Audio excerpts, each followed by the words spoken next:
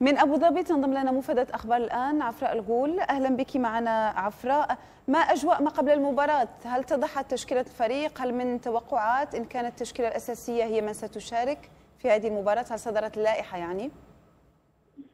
نعم مرحبا بك خديجة. الأجواء هنا رائعة جدا طبعا يعني التنظيم كان رائعا جدا من حكومة دولة الإمارات العربية المتحدة تنظيم رائع بالفعل يعني آه لم نجد أي صعوبة في الدخول أو الخروج أو حتى يعني إيجاد أي آه الأماكن الخاصة بنا أو حتى يعني آه مواقف عامة.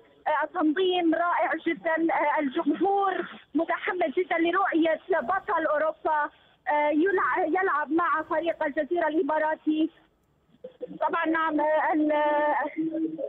الريال يدخل بتشكيلته الأساسية أمام فريق الجزيرة الإماراتي. طبعا حراسه المرمى كيلور نافاس مارسيلو أشرف حكيمي ناتشو فاران طبعا لوكا مودريتش إيسكو حتى كريستيانو رونالدو الهداف وكريم بنزيما طبعا يعني يدخل بتشكيلته الأساسية. مباراة ستكون قوية الجزيرة سوف يحاول أن يثبت نفسه طبعا كمضيف لكأس العالم للأندية. نعم. طبعا المتأهل من هذه المباراة سوف يلعب النهائي يوم السبت طبعا مع الفريق البرازيلي يعني المتأهل إلى النهائي ومباراة الثالث والرابع أيضا سوف تلعب يوم السبت.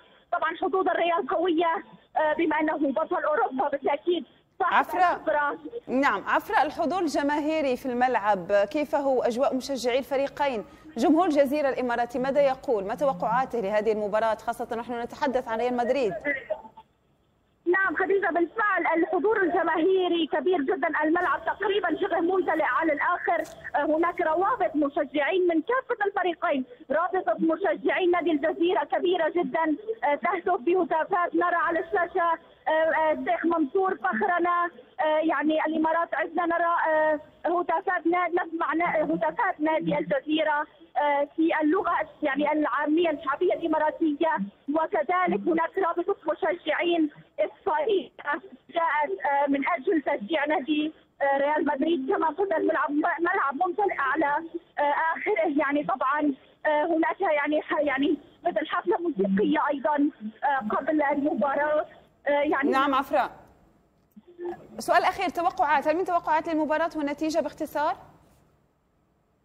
نعم بالتأكيد سوف تكون مباراة قوية جدا لأن الجزيره يعني هو فريق غير متوقع لا ينافس في هو ليس بطل قاره اسيا ولكن هو الفريق المضيف ولكن طبعا تبقى يعني حظوظ ريال مدريد أقوى لأنه بطل أوروبا وكما قلت صاحب الخبرة في هذه المسابقة والحاصل على اللقب للسنة الماضية. فبالتأكيد يعني ربما حظوظ الريال أقوى. نعم عفراء. شكرا لك. على هذه المداخله عفراء الجول مفاده أخبار الآن. كنت معنا من أبو ظبي.